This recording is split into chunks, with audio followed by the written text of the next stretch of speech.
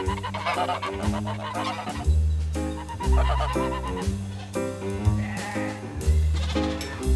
have two breeds of milking sheep. We have llamas and we have goats, as well as the poultry. We make a bit of cider.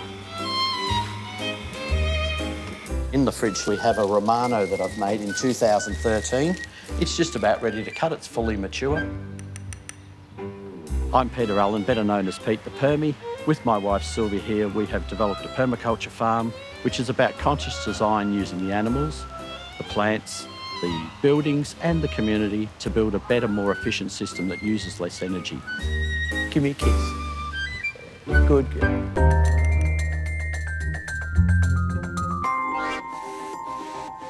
For Sylvia and I, our permaculture is more than just growing our own food. Here it's about community and also respect for the land. These cypress trees were dead 30 years ago.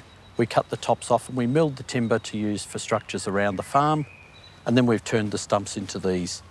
I'm quite happy with what they look like, and I always did like a man with a beard. I have to admit, in a past life, I worked for a large supermarket chain for 25 years. But since then, we've been growing our food here on six hectares, growing certified organic, certified biodynamic. You won't find any food taste better. This farm was established in 1893 it was a mixed farm, so they grew orchard trees, but they also grew a lot of cut flowers. You can still see the lilies down in the paddocks down the back of the property. We grow a lot of our own vegetables here, including tomatoes. This vine here has yielded over 80 kilos so far this year, and I think that's due to the paving here creating a beautiful microclimate, extending the life of the plant.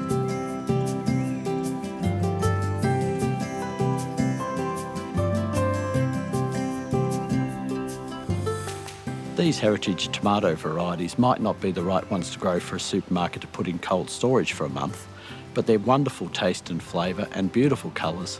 They're so easy to grow in something like a no-dig bed system. In the hills here, we get between one and five snows every year for the last 20 years that I've been here. But we can grow avocados. This is one of 14 varieties we grow here. This one is Fuerte, and this year it's yielded over 350 avocados so far. My favourite though to grow in the hills would, or in Melbourne would be Hass. It's very good at pollinating with others and we get a good crop once you have more than one variety. This is a fig tree found in my mother's garden in Montrose. It was an Ovis seedling which I've named after my mum so it's now Nancy's Black Genoa. In organics and biodynamics, composting is everything. Here we make compost to feed the soil, the soil feeds the trees and the amount of food that will come out here will feed half an acre of fruit trees for an entire year.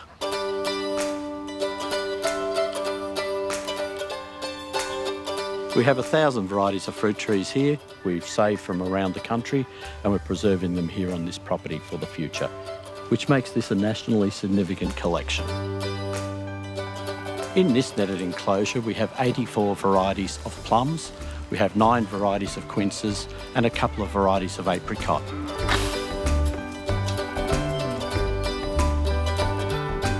We built these netted enclosures so that we can keep out the birds, the parrots, the rabbits and the foxes.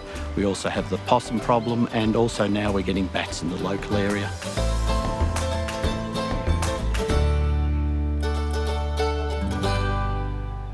In this garden bed, I've planted 42 varieties of apple that I grafted last winter. These are there to complete my collection. I think 500 apples is enough for anybody. This here is one of my favourite varieties. This one's called Blenheim Orange. It has three months of premium use. It's what we call a dual purpose apple. We can use it for cooking in the first month. The second month we'll eat the apple and then for the third month we can go back to cooking or it's perfect for drying. It cooks down to a froth, tastes like it's been spiced with cinnamon and nutmeg. Here we've obviously hit this tree with the tractor, so we've caused injury to the bark and that's given opportunity to the woolly aphid here to infest this tree. If we leave it, it's not going to be good for the tree. So what we'll do is we'll use our biodynamic tree paste. It contains cow poo, diatomaceous earth, some lime, and then we use clay to make it stick. That will smother them out, but it'll also help heal the tree at the same time.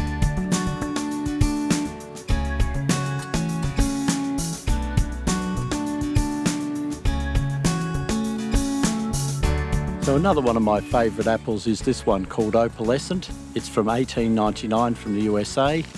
This apple won the Petty's Antique Apple Festival twice with consumer votes. It's a really good eating apple, but it will never end up in the supermarket due to its short shelf life.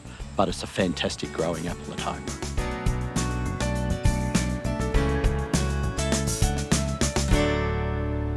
Here we have the apples on wires and we grow them in an espalier method called an oblique cordon, which is on an angle here which promotes more sideways growth. Because what we're actually after in this orchard is the sticks that we can use in our nursery for grafting material.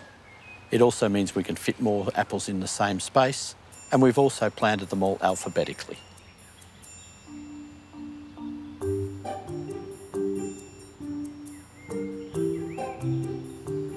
Enclosure here is managed by five geese. They mow this grass down so that Sylvia, where she used to have to mow 13 times a year, now only mows it once because she wants to. With pest management, we use guinea fowl. They sleep in the trees, but they just eat protein, so they're eating the bugs for us. This is a crab apple, which is normally used for making crab apple jelly, but in this case I like to use it in my cider to give it a bit more bite so it supplies acid and tannin to the cider. We normally sell the apples and pears off our collection at the farmers market on the weekends, but when we have windfalls on the ground that aren't suitable for sales, we can use these to make cider or we can turn them into juice. So apples, pears, and we'll even add nashis to our batch.